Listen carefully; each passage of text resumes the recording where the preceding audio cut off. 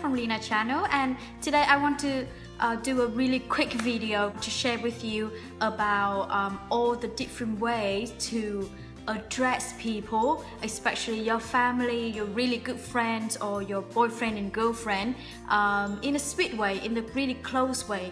You know, instead of like saying, um, uh, this is my family, you can just say, my fam. Uh, or if instead of saying um, uh, this is my mother which is a very formal way then you can say this is my ma or my mom so there will be 15 different ways for you to address your family members or your relatives or uh, your close friends or your loved ones. So let's get started. The first one I want to show you is all the slangs. We can say slangs because um, it's the um, realistic way of um, communicate. It's, it's not how you do in writing, it's not how you do in academic way, but this is um, the way that you actually calling people, talk to people in real life. And I have a little family tree here so for you to see. Sorry, I'm not much of a drawer and a painter, so I just want to make it, you know, easier for you to imagine instead of like just writing words then it's pretty hard for you to uh, memorize it so yeah just you know just a thought of making it a little bit more fun so here we have your grandfather, your grandmother. Uh, they have three kids, two girls and one boy, and all of them got married and have kids as well. Uh, the first couple, then they have a girl. Sorry about drawing again.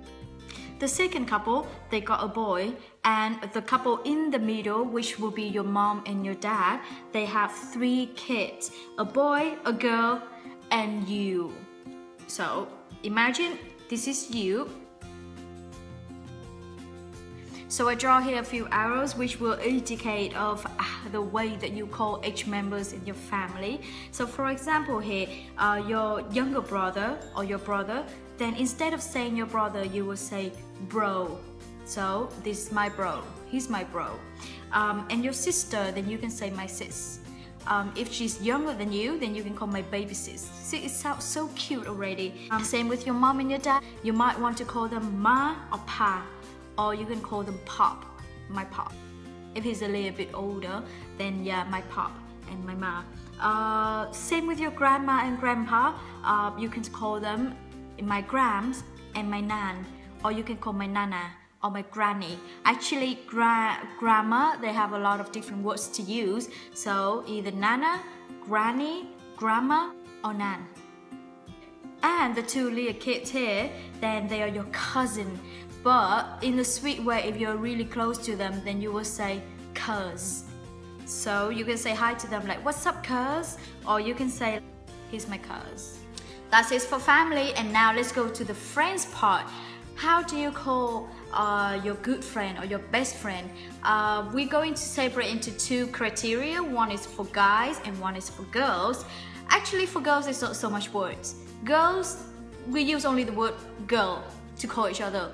Uh, we will say, what's up girl? Um, how you doing today girl? Hey, do you have any plan today girl? Um, you look good girl. So basically we're using only the word girl. However, for guys, they do have a lot more words. I have no idea why. Maybe they're more talkative than us. So they use really often two words, which is dude and uh, fool. Um, they're going to use like this. It's the same like girl. Um, what's up, dude? Um, hey, where were you yesterday, dude? Uh, do you have any plan next week, dude? Or the word dude they can actually use in um, kind of like uh, a way to show their feelings, to show their emotions.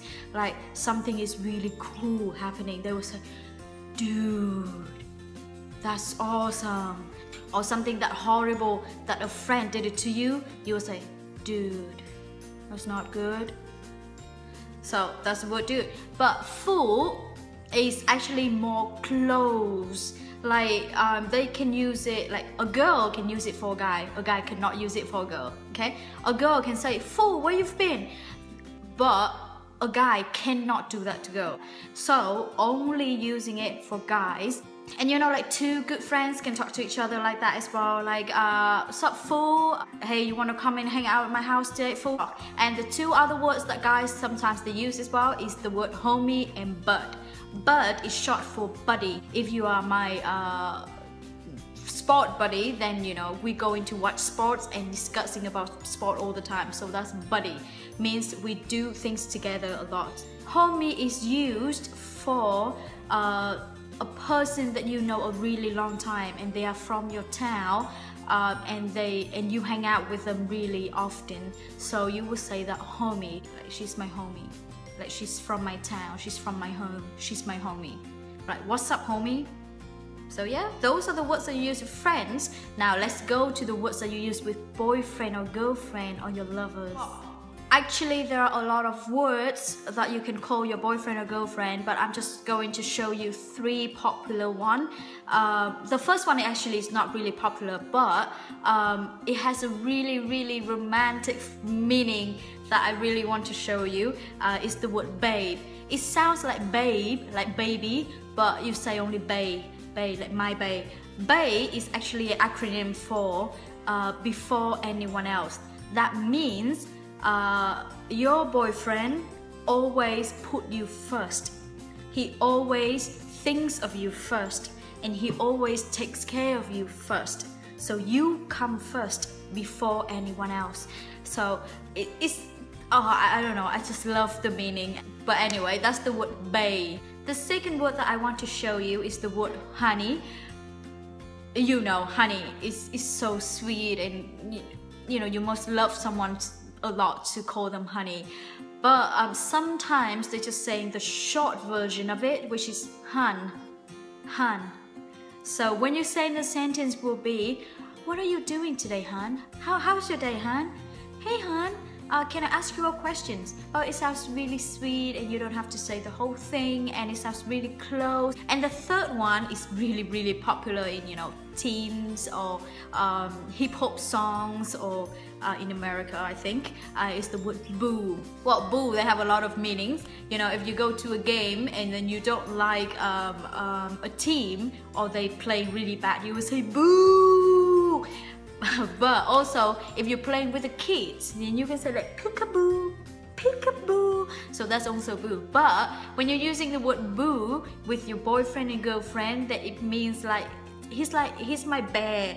He's my cuddly bear. He's my teddy bear. Like like it, it, sounds so cute and sweet. And you would say like he's my boo. She's my boo. There you go. Those are like 15 sweet words that you can use to address your loved one like your family your best friends or your partners. And if you like my video as always please subscribe. And also don't forget to send me any request of what you want to see next Alright, I see you next video. Bye!